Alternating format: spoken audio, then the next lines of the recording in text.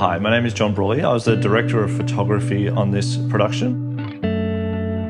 Uh, Blackmagic had a very simple idea with this project. They, they wanted to show the camera off in a variety of different shooting environments you'd see commonly on any film set that you walk onto. But they also wanted to do it in a way that was very accessible, that almost anyone else could replicate.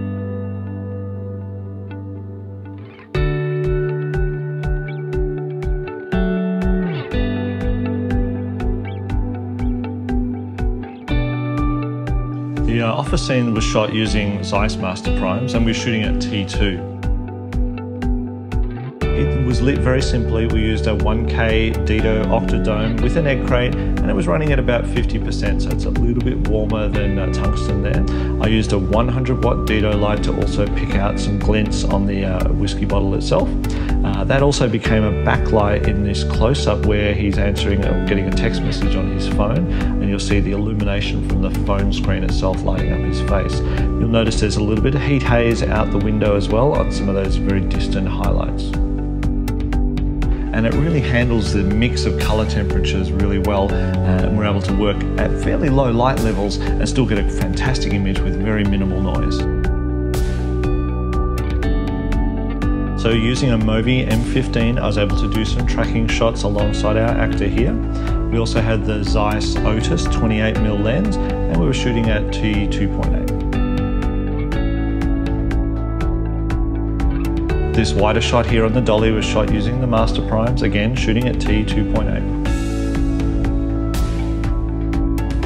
In keeping with our approach to keep the lighting very simple, I just used the available light that was in the car park and all I did was simply twist out a few tubes that were above camera.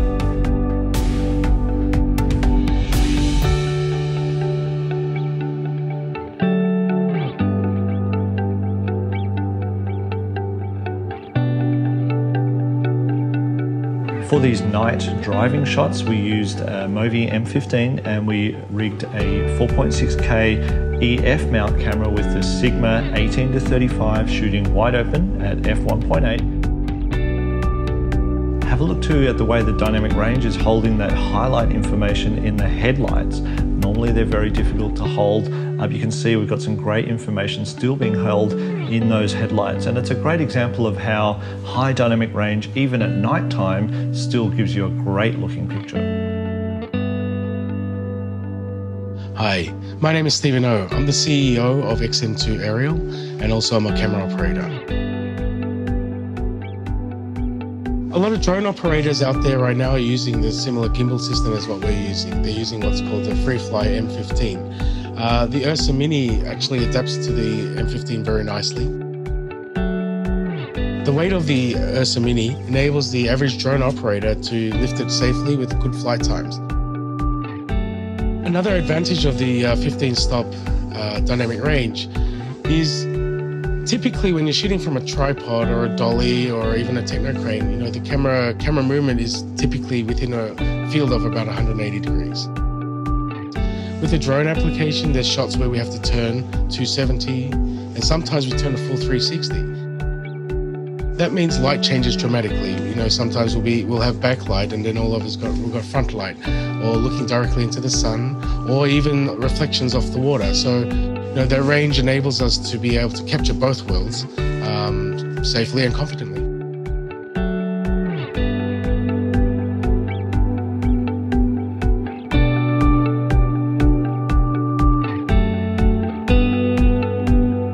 So we're at the house. This is my favorite part of this short film. Uh, all of these shots here are shot off speed at 33 frames a second. We're shooting reverse order, so sunset for sunrise. Uh, you'll notice that there's not a lot of lighting equipment being used, there's just a little bit of negative fill, but the amazing dynamic range of the camera meant that we could capture all of this contrast in the scene. You'll notice you can see outside the windows, but you can also see inside the pantry. Uh, that's a huge amount of tone range to be able to capture in just the one frame. I was actually blown away when I was shooting this because I, couldn't believe that we could see both inside and outside the house with such an extreme amount of contrast. And it really shows how much dynamic range the camera is actually able to capture.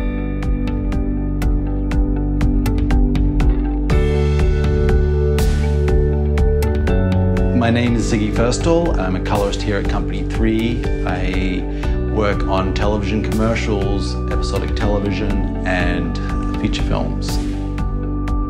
Being a colorist at Company 3, we see a lot of different camera formats. It's all raw footage, uh, 0.6K native. What's nice about that, I can just drop it straight into my timeline and it uh, plays real time. I have all the raw settings. You're working with raw uncompressed images, so it seems to be a really nice, simple workflow. One of the nice things for me is the colors that just kind of just fell into place, which says to me that the color science behind the product, not only in the camera, but also in the resolve is kind of well matched. The drone shot at night tilts up from sort of literally like a black road, like at first sort of dawn. You can lift it up and see quite a lot of detail. But what I guess surprisingly to me, uh, just looking at all the images across the board, is how clean the shadows looked. So everything that you've seen in this production, we shot at ISO 800. It was also shot raw, uh, uncompressed. So you're getting to see exactly what the camera can do. It's a genuine evolution and step forward in terms of the dynamic range and in terms of the color fidelity of its images. And uh, I can imagine it always having a place on my set.